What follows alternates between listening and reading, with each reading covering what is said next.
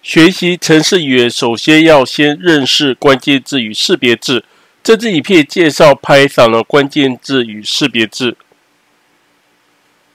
关键字是程式语言中语法功能的保留字，这是说每个关键字都有它特定的功能，有点像是我们自然语言中的动词，每个动词都是用来描述动作。关键字也是指在城市当中具有特殊意义的动作。Python 的关键字有这里的三十五个。接下来在第三堂课、第四堂课以及第五堂课会详细介绍这三十五个关键字的用法。关键字大致可以分成这里的五大类。注意到这里有个简单陈述，这里有有个复合陈述。所谓陈述的英文原文为 statement，陈述的意思是指程式的执行的基本单位。简单陈述是指单独一行的程式码就构成一个陈述，复合陈述则是需要多行的程式码才构成一个陈述。关键这里头的三个被当做常数来使用。首先，false 它是表示逻辑上的假。True 下面这个 true 表示逻辑上的真，至于这个 none 表示什么都没有的物件。这五个关键字被当作运算子来使用，其中 and、not 还有 or 这三个是逻辑运算子，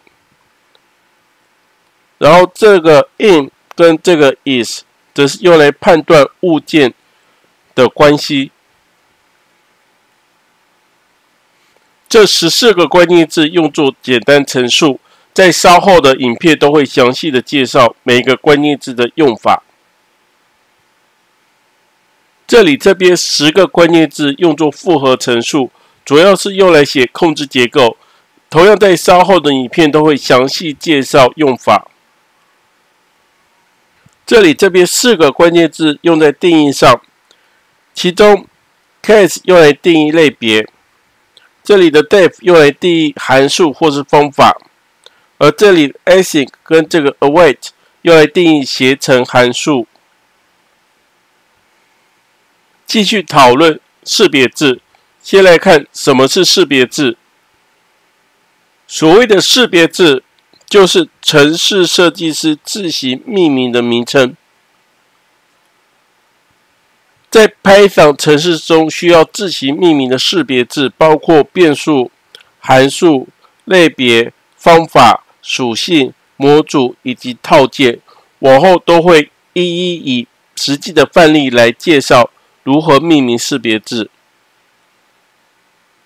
这里先看到识别字命名的基本规则：基本上识别字必须用任连续的 Unicode 字元，但是不可以用关键字。也不可以用预算子，也不可以用空格以及特殊符号。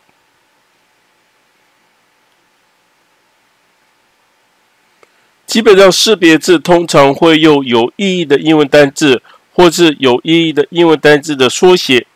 例如，变数命名可能用 var，var 就是 variable 的缩写。那如果是多个英文单字组合，可就是会用像是用底线来连接。函数的命名跟变数的命名习惯比较相近。至于类别的话，它是用大写头风形，也就是多个英文单词组合，每个字母的首字母都是大写。